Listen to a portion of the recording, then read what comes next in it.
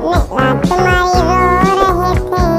mummy ने प्यार किया हंस रहे थे